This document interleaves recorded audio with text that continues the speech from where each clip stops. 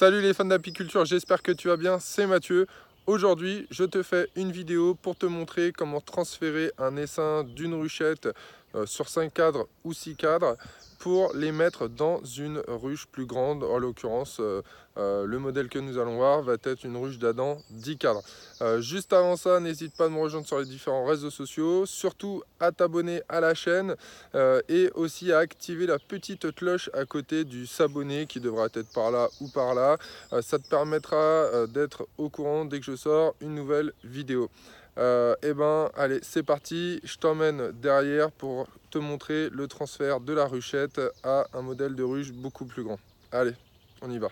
Donc nous voilà devant la ruchette, nous allons transférer cette ruchette là, euh, donc qui est sur 6 cadres, c'est un essaim artificiel fait de l'année et nous allons la transférer dans cette ruche là que je viens d'acheter, une ruche d'Adam 6 cadres. Euh, c'est un modèle que je teste là parce que euh, euh, j'ai pris un seul Nico avec les réducteurs d'entrée blancs.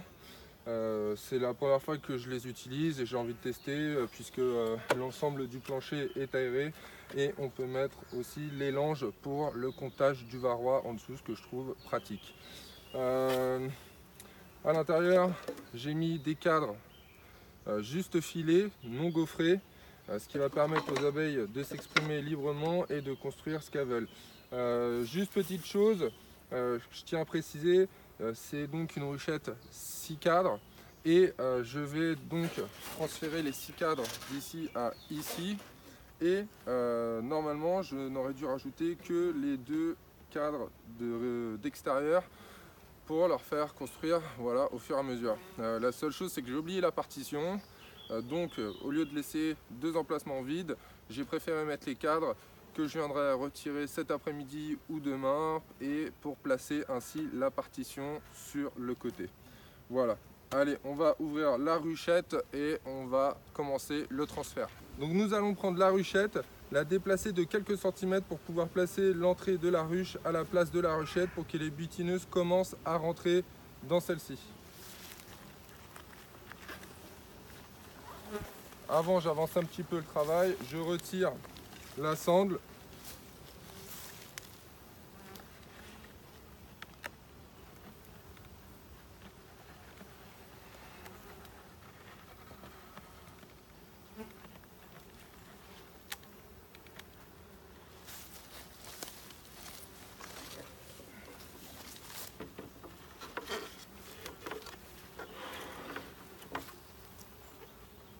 Voilà, la ruche est placée.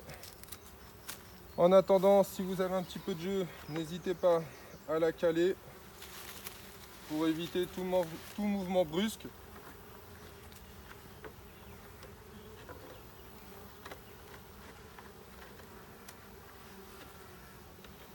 Ok, donc on va procéder à l'ouverture.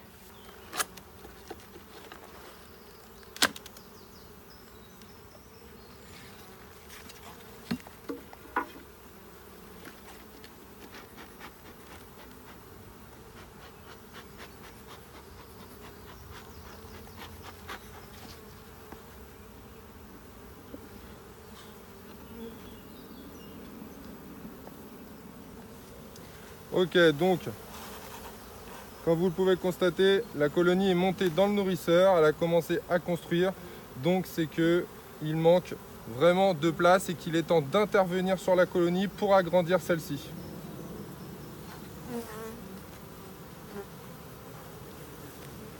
Je vais placer ces abeilles-là à l'avant.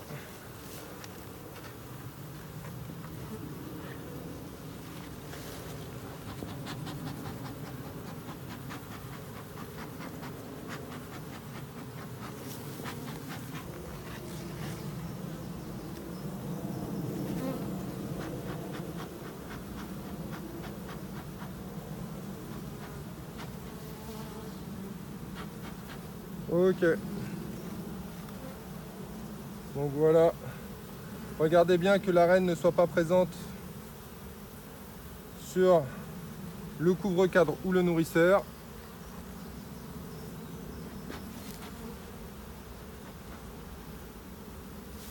Et si ce n'est pas le cas,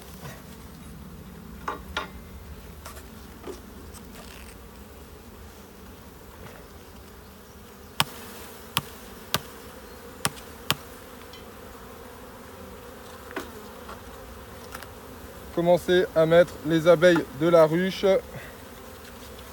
de la ruchette, dans la ruche.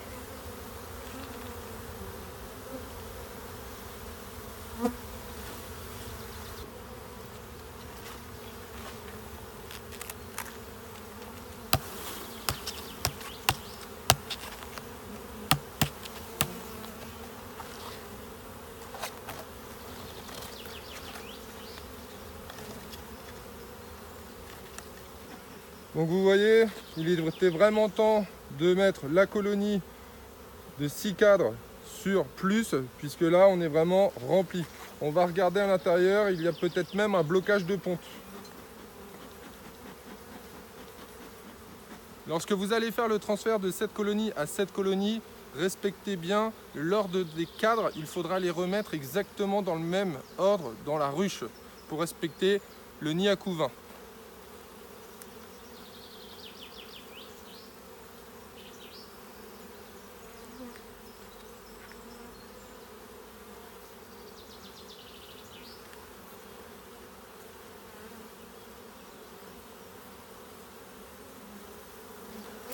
Donc ce que vous voyez là, c'est un cadre qui a été positionné il y a environ trois semaines. Et dessus, il n'y a que de la cire naturelle. Il n'y a pas de feuilles de cire gaufrée, juste filée. Et comme vous pouvez le constater, on a un beau couvain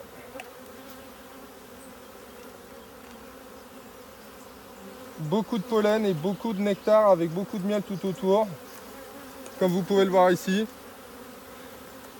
Donc les abeilles ont le choix de construire si elles souhaitent du couvain de mâle ou du couvain de femelle. En l'occurrence, en l'occurrence, toute cette partie-là, c'est du couvain de femelle. Et ici et ici, il y a eu du couvain de mâle. Et il y a encore du couvain de mâle ici. Donc je repositionne le cadre tel qu'il était à sa position dans la ruchette.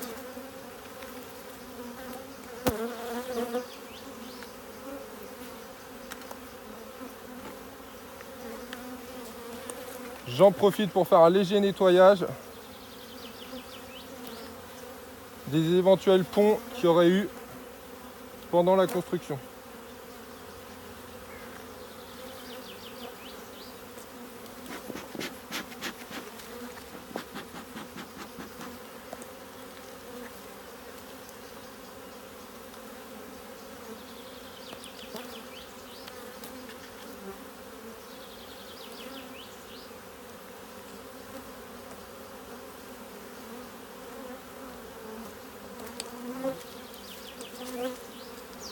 Voilà, vous pouvez constater un superbe couvain.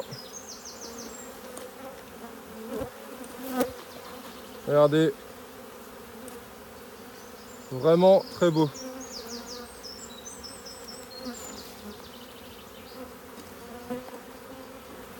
Et nous avons la même chose des deux côtés.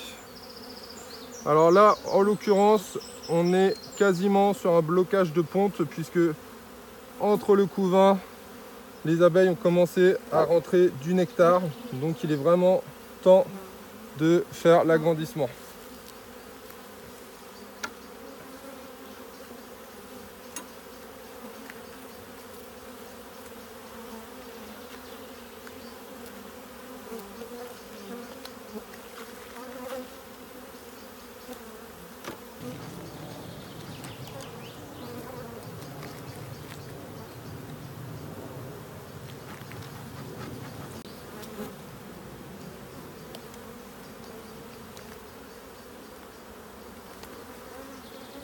Très beau couvain, du nectar, du couvain. Encore une fois, ne pas hésiter à agrandir.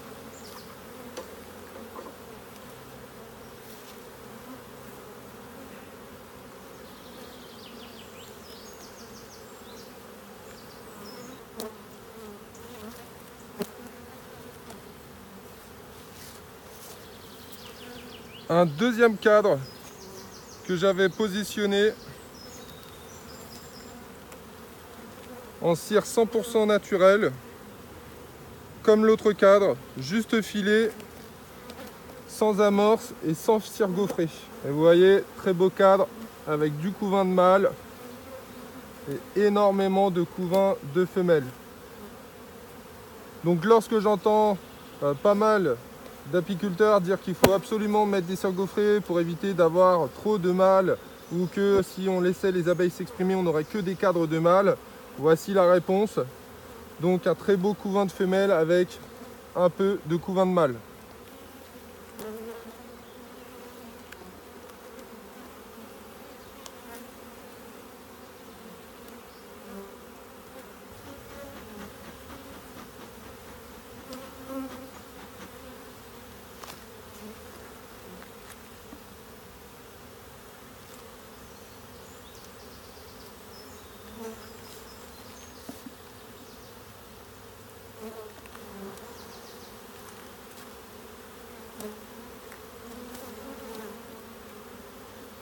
Un très beau cadre. Le cadre de rive avec donc du couvain de ce côté-là. Et beaucoup, beaucoup de miel rentré de ce côté-là. Sur le cadre de rive.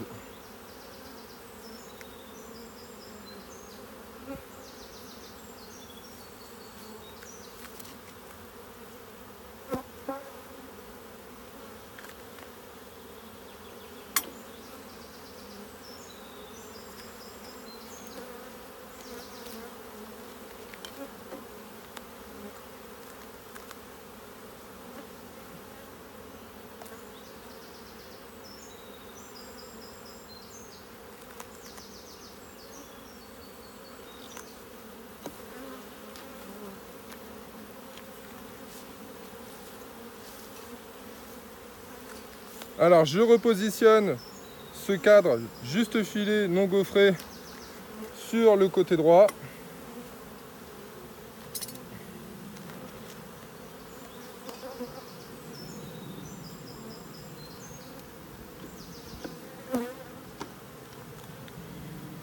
Et je vais laisser les abeilles s'exprimer sur ce cadre-là et sur ce cadre-là. Je vous rappelle encore une fois que normalement vous devez partitionner ici et laisser ce cadre. Là je n'ai pas la partition, je dois aller la récupérer et je la positionnerai cet après-midi pour éviter que cette colonie sur six cadres n'ait trop de cadres à construire et que euh, ça refroidisse trop cette colonie du fait de mettre 4, 4, 4 cadres en construction. Une fois que vous aurez fini de transférer l'ensemble de vos cadres, il faudra transférer l'ensemble des abeilles de la ruchette vers la ruche. Pour cela, il va falloir euh, simplement brosser celles qui sont sur l'extérieur et taper la ruchette pour basculer le reste des abeilles dans la ruche. Je vous montre ça. En ce qui concerne les abeilles qui sont en façade, nous allons les brosser. Et pour toutes celles qui seront à l'intérieur, nous allons frapper la ruchette au sol pour faire comme un essaim nu et l'intégrer dans la ruche.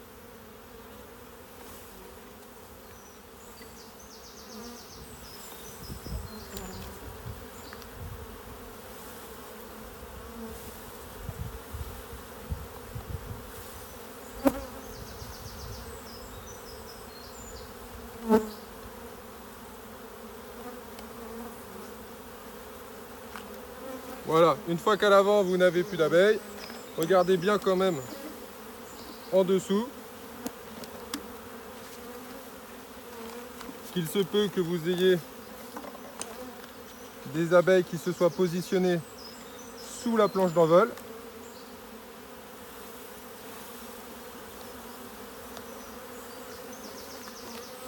Et une fois que vous avez fait le transfert du plus grand nombre d'abeilles,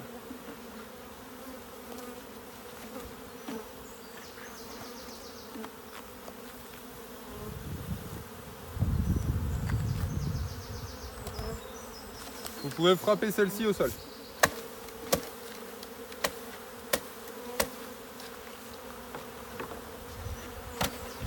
Vous obtenez comme un essaim nu.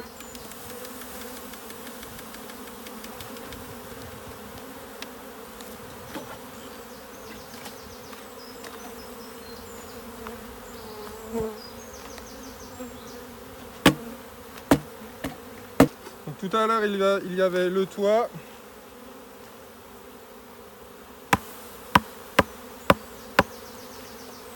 Avec des morceaux de cire que nous allons retirer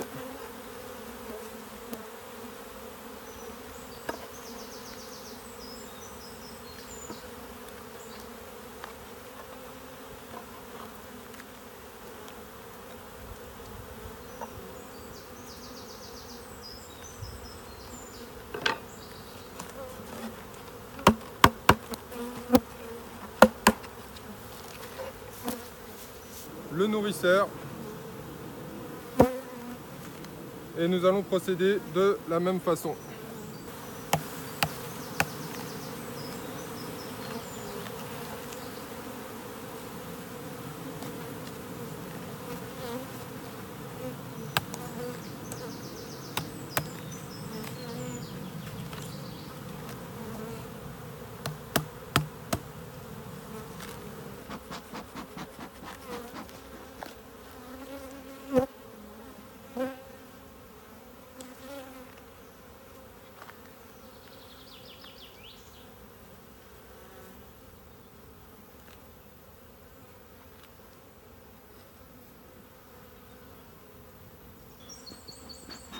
Voilà, l'opération est terminée. Nous avons transféré la ruchette dans cette ruche d'Adam 10 cadres. Nous n'avons plus qu'à refermer l'ensemble de la ruche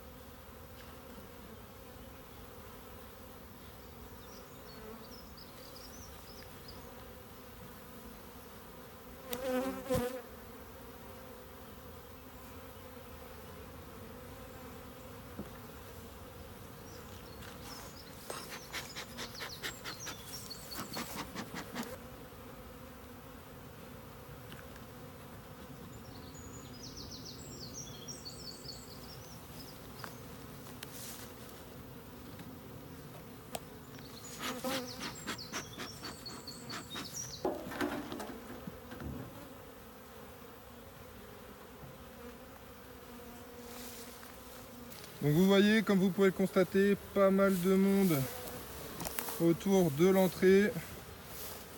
Voilà. Elles cherchent un petit peu. Elles cherchent un petit peu leur marque. C'est normal puisque là on vient d'agrandir la ruche. Et le temps que tout le monde re-rentre dans celle-ci. On va pouvoir hiverner un essaim qui a été fait euh, eh bien, au mois de mai. Euh, dans de bonnes conditions puisqu'il y a de bonnes réserves de miel.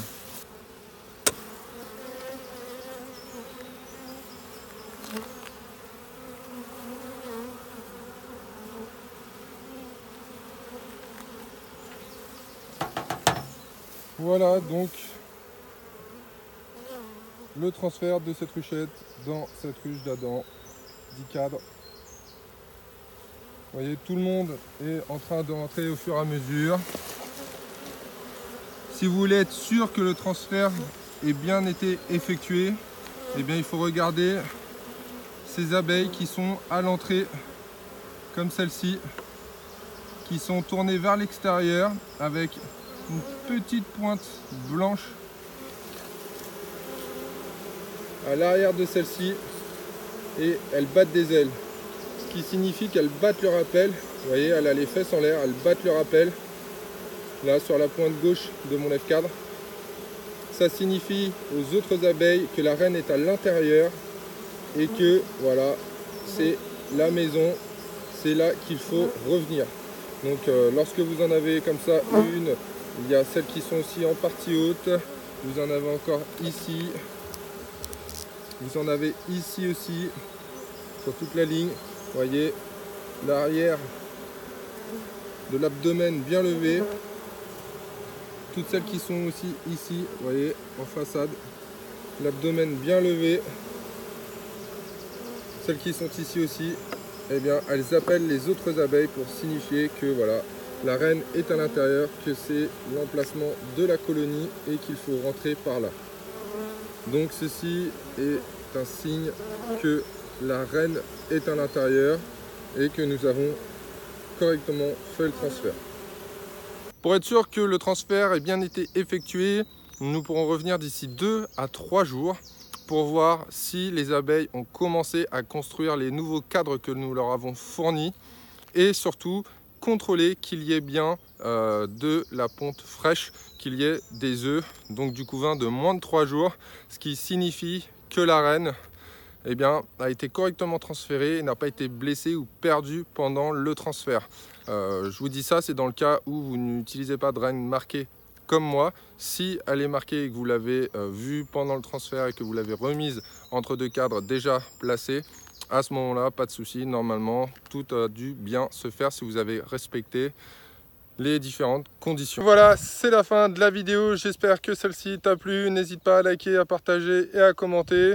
Euh, dis-moi, toi, eh bien, euh, si tu utilises une autre technique ou si tu as mis celle-ci en application et que ça a fonctionné correctement. Euh, comme tu peux le voir derrière moi, je suis en lisière de forêt et nous sommes fin juin et nous sommes sur la mielée de châtaignier donc voilà pour ton information là sur la période du 21 juin à peu près euh, début de mielée de châtaignier donc attention si tu es en présence de châtaignier autour de ton rucher voilà j'espère que la vidéo t'a plu et bah moi je vais prendre voilà la petite récompense euh, de ce transfert et de cet agrandissement euh, de ruches. Et je te dis à bientôt. Hmm. Il est tout simplement excellent. Rien de mieux que d'avoir son miel frais fait maison par ses abeilles.